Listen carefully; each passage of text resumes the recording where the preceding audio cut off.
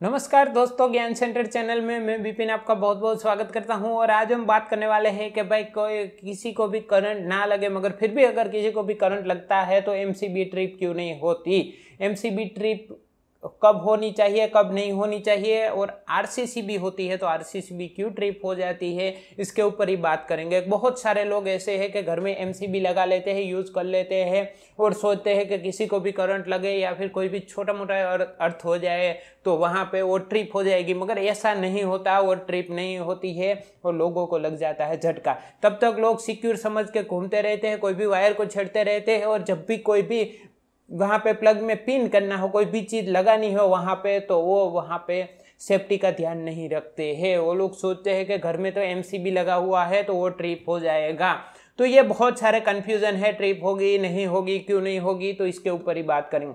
सबसे पहले समझ लेते हैं कि एमसीबी हम लोग लगाते कि है। एमसीबी का फुल फॉर्म होता है miniature circuit breaker miniature circuit breaker किस काम के लिए यूज़ होता है? देखिए मिनिएचर सर्किट ब्रेकर सिर्फ़ दो कंडीशन में ही ट्रिप होगा। पहली कंडीशन ये है कि अगर आपने एक, समझ लीजिए 10 एम्पियर का एमसीबी लगाया है और आपका लोड चला गया है 11 एम्पियर 12 एम्पियर 10 एम्पियर से ज़्यादा यानी कि ओवरलोड हो गया, आपका लोड ज़्यादा ले लिया तो एमसीबी ट्रिप हो जाएगी। और दूसरा यहाँ पे कंडीशन आता है शॉर्ट सर्किट जी हाँ कोई भी दो वायर आपस में जुड़ गए या फिर अर्थ के साथ आपका फ़ेज़ जुड़ गया, ऐसी कंडीशन में आपकी एमसीबी ट्रिप हो जाती है। मगर वो भी शॉर्ट सर्किट भी, वही कंडीशन रहेगी, ज़्यादा एम्पियर ओवरलोड लोड कैसे दिखाती है? देखिए शॉर्ट सर्किट में ओवरलोड लोड ही होता है। कैसे होता है? आपकी एम सी बी दस दस एम्पियर की है। अगर वहाँ पे शॉर्ट सर्किट हुई तो शॉर्ट सर्किट के एम्पियर बहुत ही ज़्यादा होंगे। हो सकता है पचास एम्पियर हो हो सकता है चालीस एम्पियर हो हो सकता है साठ एम्पियर भी हो। कुछ सेकंड के लिए ही होता है, मगर बहुत ज़्यादा एम्पियर होते हैं जब भी शॉर्ट सर्किट होता है, क्योंकि डायरेक्टली ग्राउंड होता है। बहुत सारे शॉर्ट सर्किट में आपका फेस ग्राउंड हो जाता है डायरेक्ट। तो एम्पियर बहुत ज़्यादा हो जाते हैं तो एमसीबी समझ जाती है कि भाई ये शॉर्ट सर्किट है।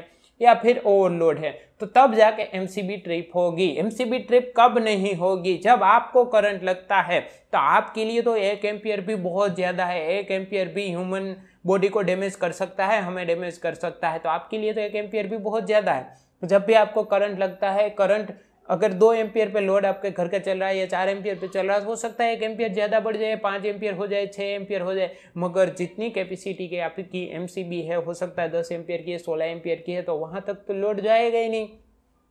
वहाँ तक जाएगा नहीं तो एमसीबी को कैसे पता चलेगा किसी को करंट लगा या ओवरलोड हुआ? तो इसीलिए एमसीबी ट्रिप नहीं होती एमसीबी ट्रिप नहीं होती है किसी को भी करंट लगने से। तो क्या ट्रिप होता है, क्या लगाना चाहिए, क्या नहीं लगाना चाहिए? देखिए, यहाँ पे ट्रिप होती है आरसीसीबी आरसीसीबी का एप्लीकेशन समझ लीजिए, लेते हैं। आरसीसीबी का काम क्या है? तो आरसीसीबी का काम क्या होता है? आरसीसीबी का काम होता है दोनों फ़ेज़ के बीच में करंट वो नापती रहती है। बहुत सारे लोग उसको ईएलसीबी भी बोलते हैं, मगर ईएलसीबी वोल्टेज ऑपरेटेड होती है, वो ईएलसीबी होती है। करंट ऑपरेटेड जो सर्किट ब्रेकर होता है, उसको आरसीसीबी बोलते हैं हम लोग। तो आरसीसीबी का काम होता है, अगर फ़ेज़ और न्यूट्रल के बीच में लगा है तो दोनों फ़ेज़ है तो दोनों के एम्पियर वो मॉनिटर करती रहती है। यानी कि फ़ेज़ में एक एम्पियर चल रहा है तो न्यूट्रल में भी एक एम्पियर ही चल रहा है। जब भी आपका हाथ लगता है या कोई भी ग्राउंड होते ही एक ऐसा कोई भी प्रॉब्लम होता है, दोनों फ़ेज़ में एम्पियर अनबैलेंस हो जाता है। कैसे होता है? जब भी आपको करंट लगता है न्यूट्रल से लगता नहीं, वो फ़ेज़ से लगता है। न्यूट्रल में करंट नहीं लगता, अगर न्यूट्रल सही है तो। न्यूट्रल में नहीं लगता है, फ़ेज़ में लगता है। तो फ़ेज़ में जैसे ही करंट लगेगा तो न्यूट्रल और फ़ेज़ के बीच का जो एम्पियर है वो अनबैलेंस हो जाएगा। क्यों? क्योंकि फ़ेज़ से आप करंट ले रहे हैं तो फ़ेज़ में एक एम्पियर ज़्यादा बढ़ गया, न्यूट्रल में दो एम्पियर ले रहा है तो फ़ेज़ तीन एम्पियर लेगा। जैसे ही एम्पियर वहाँ पर चेंज होंगे आरसीसीबी ट्रिप हो जाएगा, वो समझ जाएगा कि यहाँ पे कोई लीकेज हो रही है, करंट की लीकेज हो रही है। दूसरी कंडीशन ये होती है कि जब भी आपका कोई वायर का इंसुलेशन लीक होता है, या फिर कोई इलेक्ट्रिक इक्विपमेंट है, आपका हो सकता है वो शॉर्ट सर्किट खराब हो गया और वो ग्राउंड हो गया तो जैसे ही आप उसको प्लग करेंगे, आपकी आर भी ट्रिप हो जाएगी। कौन सी कंडीशन में आर भी ट्रिप नहीं होगी? ओवरलोड में वो ट्रिप नहीं होगी शॉर्ट सर्किट में बहुत सारे केसेस में ट्रिप नहीं होगी। अगर न्यूट्रल और फ़ेज़ एक साथ शॉर्ट हो गए तो आरसीसीबी को लगेगा, दोनों में सेम एम्पियर है तो वो ट्रिप नहीं होगी। ओवरलोड का उसको कुछ पता है नहीं।